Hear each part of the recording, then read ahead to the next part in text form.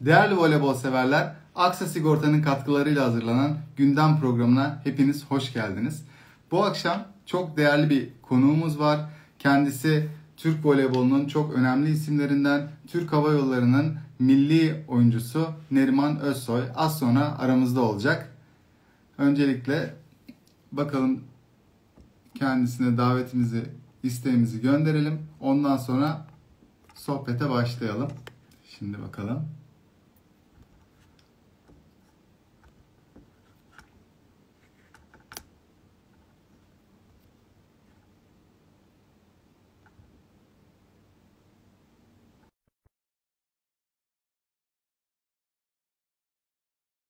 Kendisi katıldıktan sonra başlayacağız.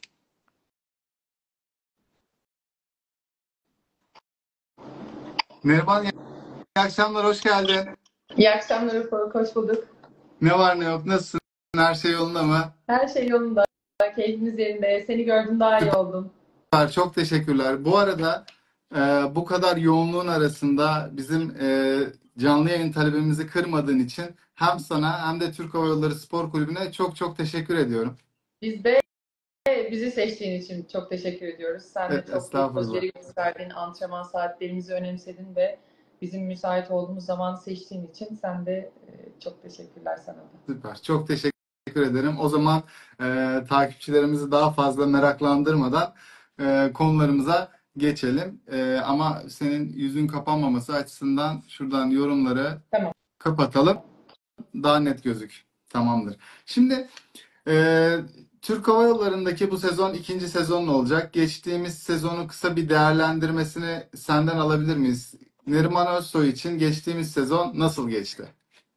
Ya açıkçası ben 10 yıl sonra biliyorsun e, 10 yıl 10 sezon yurt dışında oynadıktan sonra tekrardan radikal bir karar aldım ve Türk Hava Yolları gibi büyük bir firmanın bir parçası olmaya karar verdim. Çok iyi bir teklifle geldiler ve zaten e, marka değerini düşürdüğümüzde de açıkçası hem de hedeflerimiz birleştiğinde e, ve çok önemli bir vizyonu, Zeraberto gibi bir vizyonu kendi takımlarında görmek istediklerinde bu projeye çok inandım ve dönmek istedim.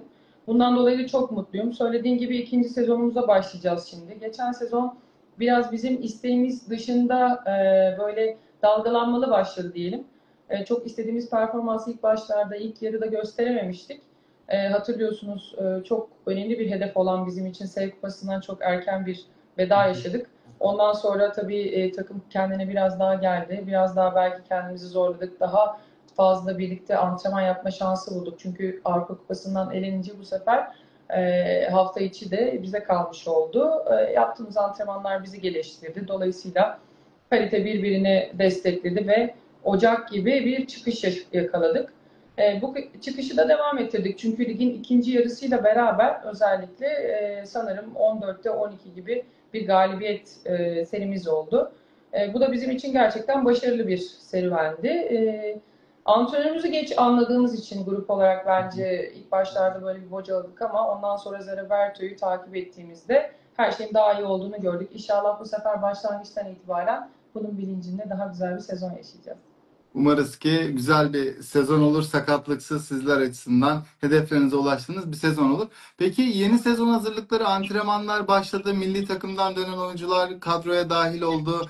Ze Roberto da e, herhalde ayın 16'sı gibi kadroya gelecek, takım başında antrenmanlara başlayacak. Nasıl gidiyor yeni sezon hazırlıkları?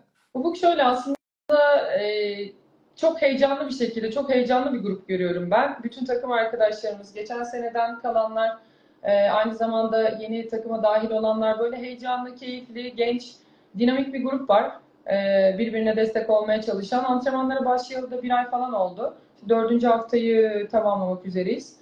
Ee, Yalçın Özbek önderliğinde bunu devam ettiriyoruz. Söylediğim gibi Roberto olimpiyatlarda olduğu için tamamen her şeyi, bütün sorumluluğu Yalçın'a devretti. O da zaten onunla bir sezon geçirdiği için e, onun mantalitesini, çalışma standartlarını, antrenmanlarda neyi kaliteli yapması gerektiğini, takım ne yönde hazırlaması gerektiğini, önemli olanın hani mental anlamda da e, nasıl bir hazırlık e, içerisinde olmamız gerektiğini hepsini Yalçın'la paylaşarak böyle bir e, planlama yaptılar. Tabii bunun yanında alan antrenörlerimiz de onlara çok yardımcı oluyor. E, dolayısıyla keyifli bir başlangıç yaptık. Yani her şey yolunda. Tabii ki ufak tefek böyle zorlanmalar oluyor. Uzun bir yaz döneminden sonra geldik. Söylediğim gibi milli takım sezonu bitti. Tuğba aramıza katıldı milli takımdan. E, o da çok istekli, çok e, heyecanlı. Yani güzel renk kattı. O yüzden e, onun gibi bir sporcu da geldiği için daha da kuvvetli hissediyoruz aslında. E, böyle güzel bir başlangıç oldu. Ben de tam olarak aslında onu soracaktım. İşte Tuğba kadronuza bu sene dahil oldu. Ee, yeni kadro yapılanmasıyla ilgili neler söylemek istersin? Yani gidenler oldu, e, gelenler oldu. Tabii hani ne söylemek istersin bilmiyorum gidenlerle ilgili ama gelenler için neler söylemek istersin? Fikirlerini alayım. Yani Büşra mesela kadroya dahil oldu. Nasıl bir enerji kattı? Şöyle e, tabii yaptığımız spor itibariyle biliyorsun e, her sezon başka bir kulübü tercih edebilirsiniz ya da kulüpler sizi tercih edebilir. Kariyerinizde bazı çıkışlar, inişler olabilir ve dolayısıyla ayrılıklar, e, birleşmeler bunlar hepsi bizim sporumuzun, yaptığımız işimizin bir parçası. Evet e, takımdan ayrılanlar oldu. E, takımda yollarımızı ayırmak istediğimiz oyuncular da oldu. Daha önceden milli, e, milli takım ve aynı zamanda e, Türk Hava Yolları formasını terletmiş sporcularla tekrar birleşmeler yaşadık. Çağla gibi, Ada gibi. Daha önce onlar hizmet etmişlerdi. Dolayısıyla e, böyle bir karma, gidenler, gelenler ama önemli olan tabii Türk Hava Yolları'nın varlığı, Türk Hava Yolları'nın e, hala hedeflerinin aynı doğrultuda, aynı çıtada ilerliyor olmasıydı. E, tabii ki gidenler için şunu söylemek isterim. E, bu sporu yapıyoruz. Hepimiz bu spora emek veriyoruz. Önemli olan rakip sahalarda olsak bile e, voleybolun kalitesini artırmak e, için rakip olsak bile bu ligin kalitesini artırmak için hatta biliyorsun ligimizden ayrılanlar oldu. Gabi gibi bir oyuncuyu kaybettik. E, onları tekrardan geri kazanmak için tekrar birbirimize böyle güzel bir voleybol şöleni olur diyorum ben. E, karşılıklı oynamak da zevkli olacaktır mutlaka. Yeni gelenlerde Tuğba özellikle bizim için çok önemli. E, biliyorsun hem genç hem çok dinamik hem çok hırslı bir sporcu. E, yurt, dışı, yurt dışında da tecrübe yaşamıştı. E, onun kuvveti bize kuvvet katacaktır diye düşünüyorum. Genç olması e, bizim için yapılan projeler açısından belki de kendini göstermesi açısından, kanıtlaması açısından belki de bu kez biraz daha lider vasıf, vasıflı bir Tuğba açısından e, pozitif olacaktır diye düşünüyorum. Onun dışında pasörlerimiz değişti biliyorsun. E, pasörlerde de Çağla geri geldi. E, Beşiktaş'ta forma giymişti. Yine Brezilyalı bir pasörle devam ediyoruz. Makris gitti. Evet. Brezilyalı bir pasör geldi. O da biliyorsun olimpiyatlarda son bronz madalyayı kazandı ve sürekli oynadı. Tabii ki Makris de yardımlaşarak oynadılar ama o da tecrübeli. Daha önce Polonya Ligi'nde de oynadığı için international olarak da kendi ülkesinin dışında da tabii tecrübesi var. Onun dışında Julia'yı biliyorsunuz 4 numara oyuncumuz. Onunla devam ediyoruz. Anti bizimle birlikte Onunla zaten o bizim prensesimiz. Onu çok seviyoruz ve güveniyoruz. Evet. Onunla da devam ediyoruz. Ee, takımımızın içi, ortamı gerçekten çok e, güzel, tertemiz. Herkes birbirine destek oluyor. Mutluyuz yani. Her şey yolunda devam ediyoruz. Peki Neriman çok güzel, hoş anlattın bunları. Peki bu güzel takımın kaptanı bu sezon kim olacak acaba? E, futbola bu sezon gelen herhalde e, bu soruyu soran birkaç kişiden bir tanesi. İlk defa sorulmuyor ama şunu söyleyeyim. Bizim kaptanımız Roberto. Biz e, kim kaptan olursa o çizgiyi kimin göğsünün altında görürseniz Roberto'nun düşüncelerine saygı gösteren, onu e, takip eden bir düşünce yapısının sembolünü göreceksiniz. Yani o çok sembolik bir şey aslında. Fakat bizim kaptan e, için e, başka bir kurgumuz var. Biz farklı liderler yaratmak istiyoruz. Mesela Melis. Melis bir libero fakat Türk Hava Yolları formasını en çok terletmiş isimlerden bir tanesi. Dolayısıyla e, yani yaşı küçük diye bu tecrübesiz olduğu anlamına gelmez. Tam tersi Melis'siz bir Türk Hava Yolları düşünülemez. Bu yüzden e, benim ona hep söylediğim sen sahanın işte o arka taraftaki lideri olacaksın. işte Tuğba belki ön taraftaki lideri olacak.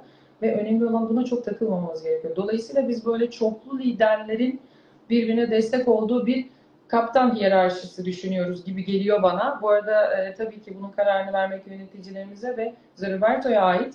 Ama başkanımızın da bununla ilgili bir fikri vardır. Mutlaka bize söylediğinde biz de e, bunu sizinle paylaşırız. Ama şu anda henüz bilmiyoruz tabii. Çok teşekkürler Neriman. Yani bu konuda senin de zorlamanın bir manası yok. Sonuçta dediğin gibi belli olduğu zaman resmi olarak zaten e, açıklanır. Çok teşekkür ederim ama yani sözlerin için. Peki Neriman şimdi e, çok farklı ülkelerde forma giydin. Çok kıymetli bir oyuncusun. pek çok kulüpten teklif almana rağmen Türk Hava Yolları'nı proje olarak kabul ettiğini ben düşünüyorum. Yani güzel bir yapılanmada geldin kulübe. İşte Zeroberto'nun başlamasıyla birlikte.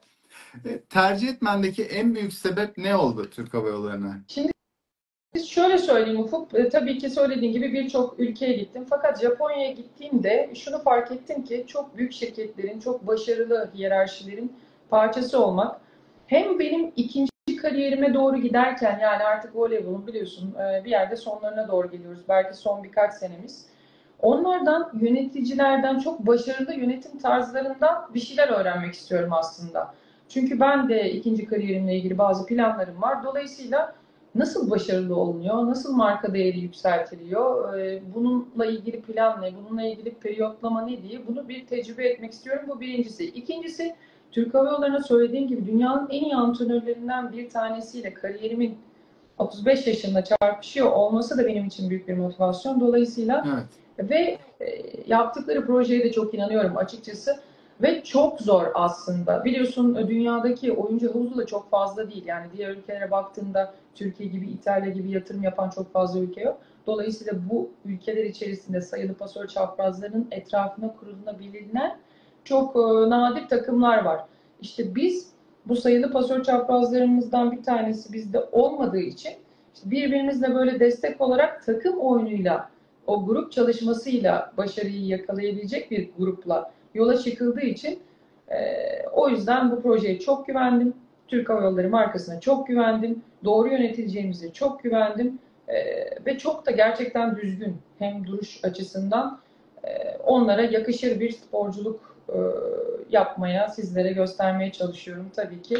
Ama en nihayetinde 37 bin çalışanından sadece bir tanesiyim. Ama bununla ilgili de çok mutluyum. Süper, çok güzel. O kadar güzel özetledin ki Neriman ağzına sağlık. Peki ben Zeroberto için ayrı bir e, parantez açmak istiyorum. Ayrı bir konu başlığı açmak istiyorum daha doğrusu. Dünyanın en iyi antrenörlerinden biriyle çalışıyorsun. Bize biraz Zeroberto'yu anlatabilir misin? Biz hep dışarıdan görüyoruz. İşte e, geçtiğimiz sezon bazı mağlubiyetler aldığı zaman eleştiri oklarına tutuldu. İşte e, iyi olduğu zaman dünyanın en iyi antrenörü dendi ama sen her dakikanı geçiren bir sporcusu olarak ne söylemek istersin Zeroberto ile ilgili? Açıkçası ben 2012 e, olimpiyatlarından itibaren hep böyle e, işte karşılıklı oynarken de çok saygı duyduğumuz bir isimdi. Hem duruşuyla hem başarılarıyla hem böyle merak ettiğimiz için. Çünkü biz de biz bir Brezilyalı antrenörle çalışıyorduk. Acaba her Brezilyalı antrenör aynı mı diyorduk? İşte bizimki Marco biraz daha heyecanlı, biraz daha gençlerle çalışmayı seven o yüzden biraz daha e, bağırıp çağırabiliyordu. Ama Zeroberto biraz daha sakindi ona nazaran. Acaba diyorduk hani Zeroberto'nun tavrı da aynı mı? Ya da bu kadar nasıl başarılı olabiliyor? İşte geliyorsunuz 2-2 oluyor maçlar ama tiebreak'te öyle bir e, dokunuyor ki takıma takım tiebreak'i inanılmaz oynuyor. Hani mental olarak mı kuvvetlendiriyor, taktik olarak mı çok kuvvetli? Aslında çok merak ettiğim de bir antrenördü. E, geçen seneye kadar hiç böyle onunla bir sezonu tecrübe etme şansım olmamıştı. Ama bununla ilgili çok büyük şeyim yani keşke diyorum ki kariyerimde e, yani 16-17 yaş, yaşında e, kariyerim çarpılsaydı daha çok öğrenseydim. Çünkü biliyorsunuz bir sporcu 27'sine kadar inanılmaz gelişir. 27'sinden sonra biraz gelişimi durur ister istemez. Fakat ondan keşke daha önce öğrenebilseydim diye çok düşünüyorum. Tabii ki ben de çok şanslıydım. İtalyan antrenörlerden çok şey öğrendim ama Z'yi şu an tecrübe ettiğimde hem saha içinde hem saha dışında inanılmaz verici, öğretici, çok kaliteli, e, kendini inanılmaz geliştirmiş. Bu arada sadece spora değil, spor dışında da seminerler, seminerler verip büyük markalara başarıyı anlatan bir antrenörüm var. Dolayısıyla onunla çalışmaktan dolayı inanılmaz mutluyum. Onun öğrencisi olmaktan dolayı çok mutluyum. Çünkü onunla geçirdiğimiz her dakika bir şeyler öğreniyoruz. Dolayısıyla hem başarılı buluyorum hem zaten yaptıkları işte o bütün 9 tane olimpiyat görüyor. Bütün hepsinde e, kürsüye çıkıyor. Üç tanesi bunların altın. En son olimpiyatlarda biliyorsun bronz madalya. E, bu söylediğimiz şeyler de bu havada e, olan şeyler değil. Bunları da hep her zaman bronz madalya ile taçlandırmış ya da altın madalyayla, gümüş madalyayla taçlandırmış bir isim. Ben eminim ki buraya döndüğünde hala e, işte olimpiyatlarda o yarı final maçında e, nasıl ucundan kaçırdığını ve final oynayamadığını ben bir iki ay falan dinlerim ondan diye düşünüyorum. O kadar da böyle içinde yaşayan bir antrenör. Evet kolay kolay unutamaz yani. Evet. Ne kadar güzel. Peki e, çok zaten vurguladığım gibi çok deneyimli bir isimsin. Sence takım olabilmek kavramındaki en büyük etken nedir Neriman? Aslında bunu en iyi özetleyecek sensin bence. Kesinlikle öyle diye düşünüyorum. Çünkü yine burada Japonya'dan bahsetmek lazım. Japonlar grup halinde kuvvetler, kuvvetlidirler biliyorsun. Evet. Aslında iyi yöneticilerin e, doğru hayaller üzerinde birbirine böyle güvenip birbirlerini destekleyecek o e, doğru taşları bulabildiklerinde iletişim kurmak çok zor. Yani doğru iletişimi kurabilen gruplar, takım arkadaşları her zaman başarıya daha yakın. E, hem içeride hem dışarıda saygıyı ve sevgiyi ortada birbirine bağlı şekilde yaşayan gruplar her zaman başarılı olmaya daha, daha yatkın. Hatta Z, ha, hep şunu söyler Ze Roberto. Der ki Neri voleybol oynamak o kadar da zor bir olay değil. Yani voleybol aslında voleybol oynamak işin en kolay kısmı. Önemli olan iletişimi doğru kurabilmek. Hmm. Sağ içi, sağ dışı o hiyerarşiyi, o durumu yaratabilmek, o grubun birlikte çalışmasını sağlayabilmek. Dolayısıyla belki de bunlar. Süper. Bu arada biraz yorgunsun sanırım. Antrenmandan mı Kusura geldin? bakma evet antrenman yaptırdık. Biraz da şey, bu sene çok iyi bir kondisyonerimiz var. Ee, yani inanılmaz iyi çalışıyoruz. Çok da böyle hırslı biliyorsun. Kendisi, ondan da bahsedeyim söylemişken. Serhat Türkoğlu Fenerbahçe e, basketbol, hmm. kadın basketbolundan bize geldi. İki kez Avrupa şampiyonluğu yaşadı. Dolayısıyla ondan öğrenecek çok şeyimiz var. E, bizi yoruyor bu zamanlar onun zamanları, yükleme zamanları. Evet. Bizi yoruyor, çok kuvvetlendiriyor. O yüzden kusuruma bakma biraz yorgun olabilir. Yok estağfurullah hiç problem yok. Yani senin hani cümlelerin gerçekten ders olarak dinlenmesi gerekir bana kalırsa. Çünkü yani o kadar büyük tecrübe var ki her bir kelimende. Gerçekten teşekkürler bu arada. Şimdi Neriman birazcık da e, milli takımlara aslında girmek istiyorum e, bu konuda. Şimdi olimpiyat oyunlarında e, İtalya şampiyonluk yaşadı. Sence ne yaptılar da olimpiyat şampiyonu oldu İtalya? Şöyle söyleyeyim. Biliyorsun ben yazları İtalya'da geçiriyorum. Ee, evet. Orada kalmayı, orada hazırlanıyorum. Kendimi hazır tutmayı istiyorum. Ben de bu senin bana sorduğun soruyu ben böyle acaba olabilirler mi falan diye bütün İtalyan arkadaşlarıma, tanıdığım kondisyonerlere, bütün çevreme ara ara sordum. İşte ya doğru bir seçim miydi? Velasco çok uzun süre sonra kadın voleyboluna geçti. Çünkü biliyorsun Velasco'nun hikayesini yani 1983 yılında Velasco geliyor. E, ondan sonra orada bir devrim yaratıyor. Devrim yarattığı dönemlerde şunlar. Normalde İtalyanlarda yine iyi e, şeyler var, antrenörler var fakat e, daha çok böyle analitik taktik, analitik taktik çalışırken bir anda böyle Velasco geliyor e, ve şeyi e, gösteriyor. Yani biz 6'ya 6 antrenman maç provalarını da 6'ya 6 antrenman metotlarıyla onlara yeni bir devrim yaşatıyor. Dolayısıyla ilk, ikincilikten başlıyor Yezi takımıyla ondan sonra geliyor Modena'ya. Orada böyle büyük bir hikaye yaratıyor ve şunu keşfediyor. Aslında İtalya'da yine erkek voleybolundan bahsediyorum bu arada. İtalya'da çok potansiyelli, çok başarılı oyuncular var. Fakat kariyerlerinde hiçbir şey kazanamamışlar ve bu neden? Onların mental potansiyellerini açığa çıkartıyor. Mental olarak onlara bir sporcu mentörü nasıl olunur, e, nasıl kazanılır, nasıl sırtınız yere gelmez sahada gibi e, nasıl kaybetmezsinizi öğretiyor. Ondan sonra İtalya voleybolu inanılmaz bir ilmi alıyor. Çünkü ondan önce İtalya, Asya ve Rusya voleybolunu daha çok örnek alarak işte daha uzun antrenmanlar. Dediğim gibi analitik, taktik, analitik, hı hı. taktik gidiyorlar. Hı hı. Ondan sonra Velasco böyle bir dokunuş yapıyor. Dolayısıyla sorunun cevabına geliyorum. Yeah. Velasco ben İtalya'nın o dönem çok affedersin. İtalya'nın o dönem ihtiyacı olan her şeyi yaptı. Bu ne demek? Şimdi İtalya biliyorsun geçen sene yani 2023 sezonunda böyle bir düşüş yaşamıştı. Bu düşüş nasıl olmuştu? Çünkü Mazanti bazı oyuncuları çağırmayı tercih etmedi. Bu da 7 tane starterdan, 7 tane e, ilk 6 oyuncusundan, 6 tane başlanır ama libero ile söylüyorum. Evet, evet. 7 tanesinden 4 tanesini e, milli takıma davet etmedi. Ve çok önemli isimlerdi. Bir tanesi Ego mesela. E, işte onu böyle bir sen gel falan filan yaptılar ama oynatmadı. E, İtalyan Federasyonu da baktı. E, orada radikal bir değişikliğe ihtiyaç var. Bu arada Velasco İtalyan Federasyonu'nun hep içindeydi aslında biliyorsunuz. O supervisor olarak, gözlemci olarak orada e, sanırım genç erkek voleybol tarafındaydı. Ama baktılar ki İtalya kadın voleybol takımı çok potansiyelli. O zaman Hı. ben bir ayağa da kalkayım. İşte biliyorsun inanılmaz bir staffı vardı. Evet. Yani Evet, evet, evet, evet. Doğru, doğru. Bence o yüzden doğru yönettiler diye düşünüyorum bütün yazı. E, yazın başından itibaren çünkü Şampiyonlar Ligi finali çok geç bitti. Hatırlıyor musun? 5 e, Mayıs mıydı? Galiba. Öyle bir şey. Galiba evet. Bundan sonra bir 10 gün sonra falan Biyeneller başladı. Hı-hı. Hatta Biyenellerin ilk ayağını da e, gerçek takımını götürmedi. Onları dinlendirdi. Onlara doğru dinlenme periyotları sağladı. Oyuncuları iyi bir şekilde korudu. E, oyuncular içindeki iletişimi arttırdı.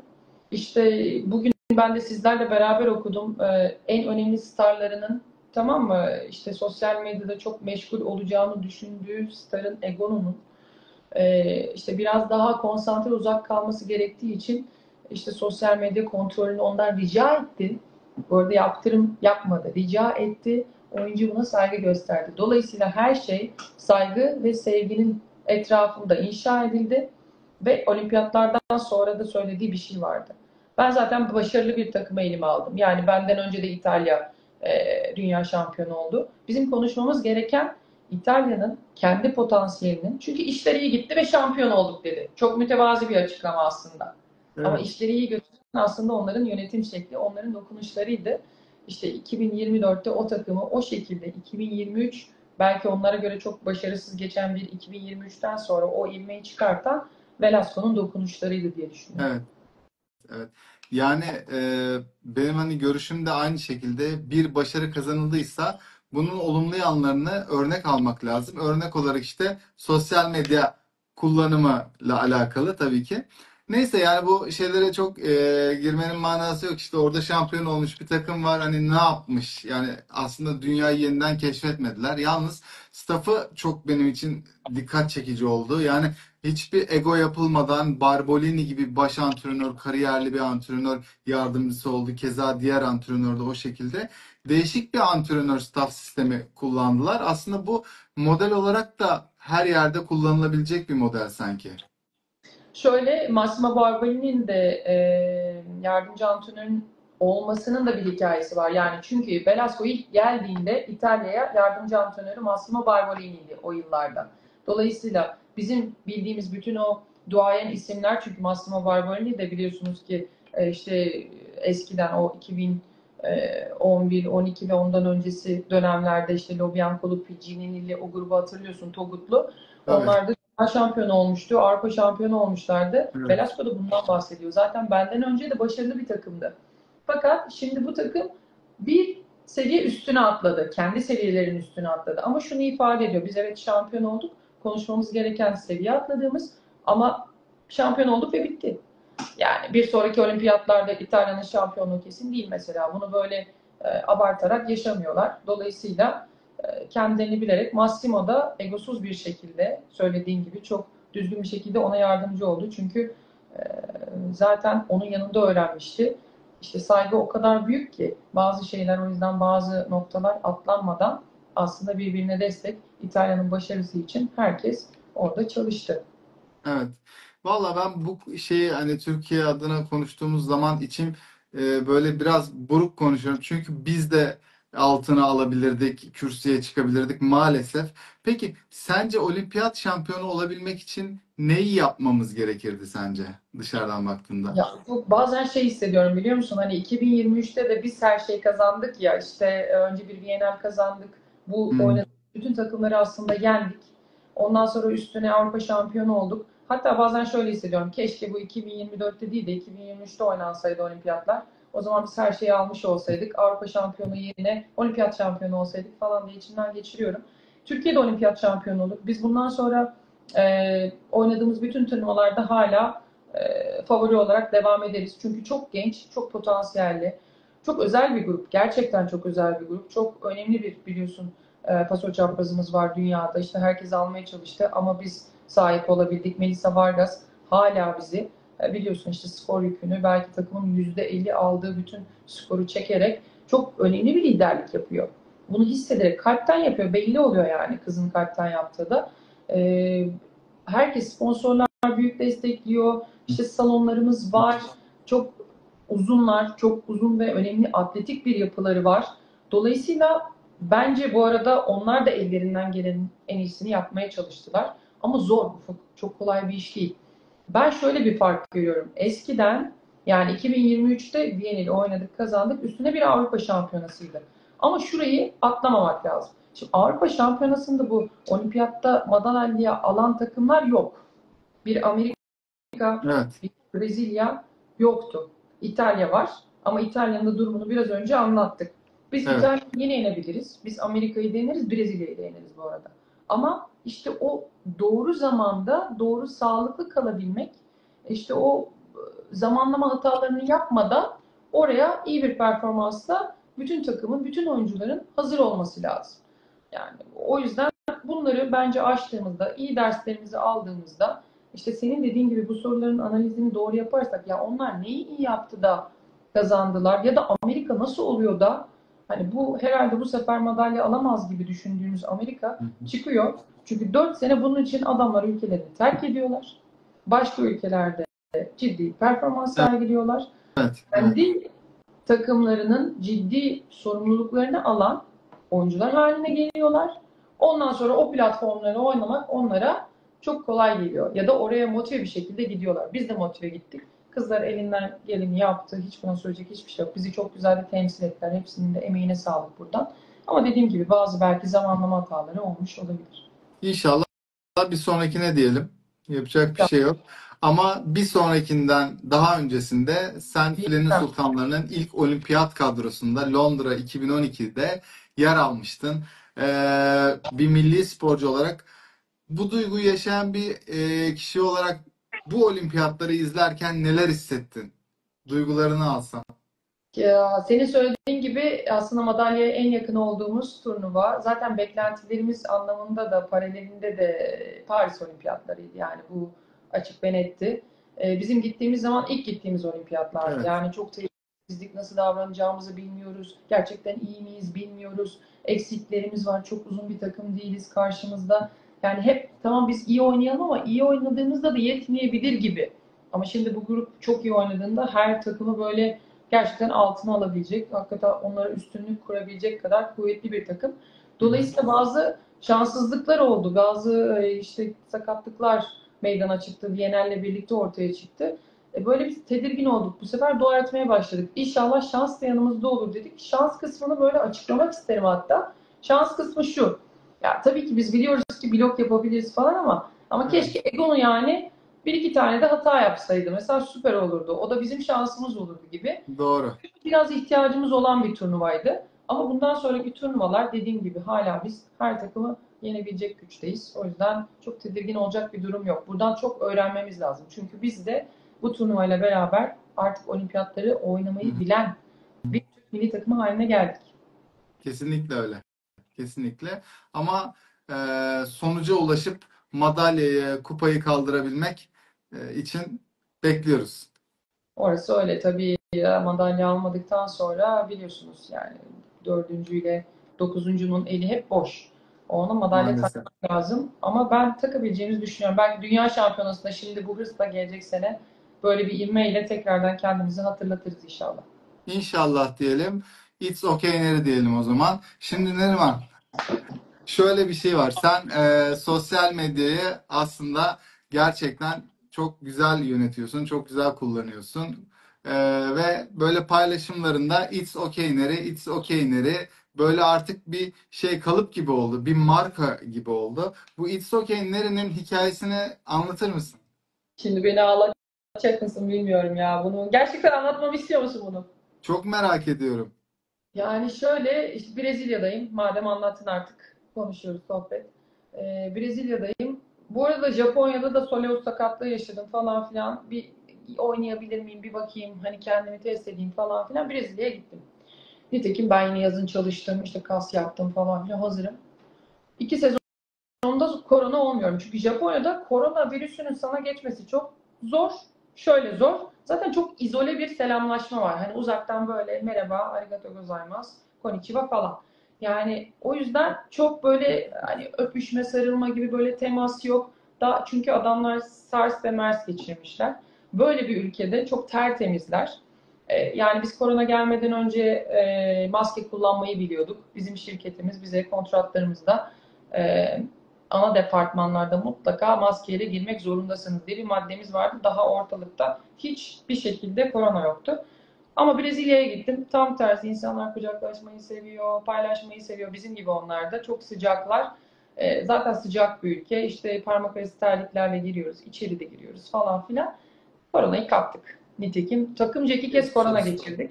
Ama Ufuk bana uçabilmem için zaten korona bak aşısı yapmışlardı. Neyse burada söyledik ismini söylemeseydim keşke ama aşıyı yaptık. Üç gün sonra korona oldu. Sonra bu aşırı dozdan dolayı bak kemiklerimi kırmış gibi hissediyorum beni. Anneme söyleyemiyorum, babama söyleyemiyorum, üzülmesinler diye beni tanıyan kimseye söyleyemiyorum. Beni ambulansa falan bindirdiler işte bir kağıt imzaladılar.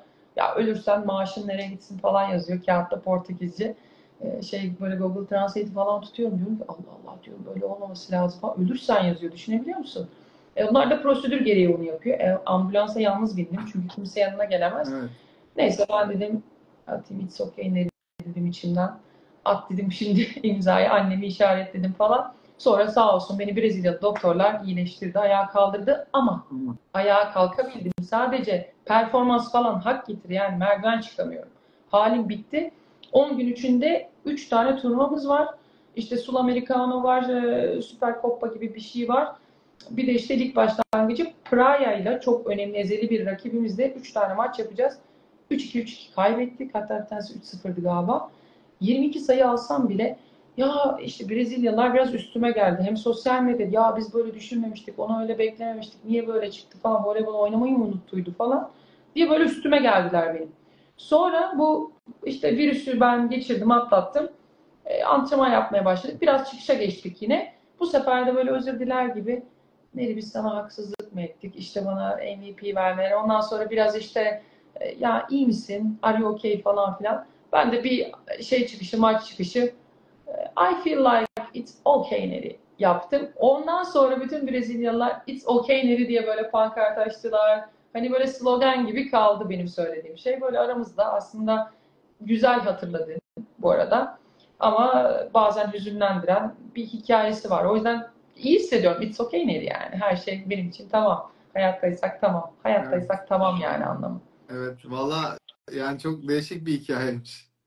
bir kitap falan yazarsan belki bunu da eklersin içerisine. Ufuk her şeyi yazabilsem kitabı yazacağım da işte kitabı yazdığımda her şeyi yazarsak büyük ihtimal çok uzun ömürlü olmayayım. Olamam yani diye düşünüyorum. Biri gelir beni vurur öldürür herhalde. Allah korusun. Şimdi Neriman e, şunu soracağım. Voleybolcu olmasaydın ne olurdun acaba? Şimdi bakıyorum gerçekten çok entelektüelsin, okuyorsun, araştırıyorsun. Yani sadece bir sahaya çıkıp smaç vuran bir Neriman değilsin. O yüzden hani ne olurdun merak ediyorum. Herhalde yine böyle çok gezdiğim, e, ülkeleri dolaştığım, belki yurt dışı bir e, ticaret, yurt dışı bir business düşünebilirdim. Çünkü çok hoşlanıyorum. Farklı insanlarla, kültürlerle konuşmaktan, işte onlara yararlı olmaktan, onlardan yarar sağlamaktan çok büyük keyif alıyorum. Dolayısıyla belki bir ticaret yapabilirdim. Belki de yaparım yani. İşte ben tam onu soracağım. Voleybol e, kariyerinden sonraki planlamayı hiç düşündün mü yani böyle ne yapmayı düşünürsün voleyboldan sonra? Çok fazla e, bunu açığa da çıkarmadan şimdi şey yapayım. Yani işletme üzerine bir şeyler düşünüyorum. Bakalım. Peki İnşallah. markanın ismini It's Okay Neri koymayı düşünür müsün? Bunu sen evet bunu şey yapıyorsun. Şimdi sen Hikayesi var. Geldi evet. Abi olabilir. Bunu bir düşünmek lazım. Bir sormak lazım tabii analizcilere. Bu ne kadar tutar, ne kadar bizi ileri götürür bilemeyiz. Sen seviyorsun, ben seviyorum. Acaba bu hangi kitleye kadar ulaşır? Bunu herkes sever mi? Bir bakalım analizlerine sonra olabilir. Doğru, süper. Peki e, böyle daha böyle sosyal sorulara gelmeden önce bir voleybolla ilgili bir sorum daha olacak sana. Birçok ülkede forma giydin, birçok deneyimin var. Sportif anlamda en çok geliştiğini hissettiren ülke sana hangisi oldu? İtalya. İtalya oldu. Şöyle e, İtalya hem başlangıcından sonuna hangi takıma transfer olursanız olun hiçbir zaman başladığınız işte Eylül, Ekim gibi oynamayacağınız, kendinizi geliştireceğiniz çünkü lokal oyuncularının Hı hı. voleybolu öğrenirken ilk dokunuşlarından itibaren kaliteli bir şekilde artık o Türkiye'de de böyle oluyor ama işte neden orada geliştiğimi ben kendi kariyerimden mütevellit konuşuyorum. Orada her zaman daha komple, daha e, sorumluluk sahibi, daha her sahanın her tarafına dokunan işte hem skorer hem lider hem böyle kötü oynadığımda hesap sorulan falan böyle sorumluluklu, kuvvetli bir Neriman olarak ve İtalya'dan sonraki benim transferlerim de hep daha iyi oldu. Çünkü daha göz önündeydi. Daha göz önünde bir lig oldu. Ne oluyor? İnsanlar seni izliyor. E, iyisen farkında olarak ya da olmayarak bir potansiyelsen, özellikle de bir de ismin varsa e, transferi de daha kolay oldu. Çok şey öğrendim. İtalyanlar çünkü tek antrenör olarak değil, stafflarıyla kuvvetlilerdir. Yani istatistikçilerinden, işte bizim PT antrenörlerimizden, herkesten, mentörlerden, işte fizyoterapistlerimizden çok şey öğrendim. O yüzden e, bunun üzerine de galiba böyle çok oturaklı bir kariyerim var. Kendime bakmayı bilebiliyorum. Çünkü onlar bana öğretti. İşte yazın bile onlara soruyorum. Ya buramda bir şey var falan güneşlenirken. Ya bir şey sorabilir miyim? Hiç yeri değil aslında falan. Tatil yapıyorsun ama senin de işin. Bir yardımcı olursan falan diye böyle hep e, istedim. Onlar da istedikçe kırmadılar, öğrettiler. Sağ olsunlar. Öyle bir güzel bir network'üm var yani. Yani öğrenmeyi istedikten sonra bir şekilde ulaşabiliyorsun. Yeter ki niyetin olsun. Kesinlikle. Hatta sen keşke bu konuşmaları bak Zeroberto ile Velasco ile falan yapsam biz neler öğreniriz belki. Onlar da çok hikaye var. Gerçekten yani onlarla yapsam e, bizim için çok daha yararlı olur. Çünkü ben e, az çok işte 1983'ten Velasco'nun gelişini bahsettim ama ben 1988 doğumluyum. Tabii ki onu araştırıyorum. Tabii ki Evet. soruyorum başka antrenörüme. Şahit olmuş, onunla tecrübe etmiş bir antrenörden öğreniyorum. Kulaktan dolma oluyor. Ama o direkt böyle birinci kişi olarak bize bunları anlatsa çok daha kıymetli, değerli olabilir. Kesinlikle doğru. Niye olmasın? Bundan sonraki yayınlarımızda deneriz ulaşmayı. Tamam.